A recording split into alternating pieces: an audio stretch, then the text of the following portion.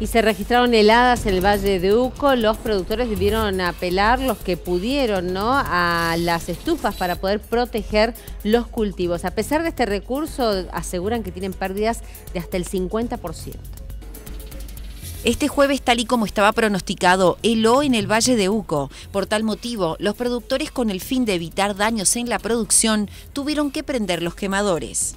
Nosotros usamos eh, leña con los tachos estos de 200 litros, así que tenemos leña y tenemos combustible pero el combustible tratamos de cuidar mucho porque después para reponerlo es, imposible. La Dirección de Contingencias Climáticas de la provincia indicó que donde más se sintió el frío fue en Tunuyán, que registró una mínima de 4 grados bajo cero. Seguidamente estuvo Vistaflores con 2 grados bajo cero, El Cepillo con 1 grado bajo cero y luego El Peral con 1 grado bajo cero. Acá en la zona que estoy yo es una zona muy fría, y bueno, eh, se complica más todavía, así que tenemos que prender más noches y, más, más tiempo. Marcelo Vicente es un productor de Tunuyán. Aseguran que ya tienen un 50% de pérdidas en las plantaciones de ciruela y daños en damascos. Temen que la situación empeore. En este momento es cuando más delicado está, así que bueno,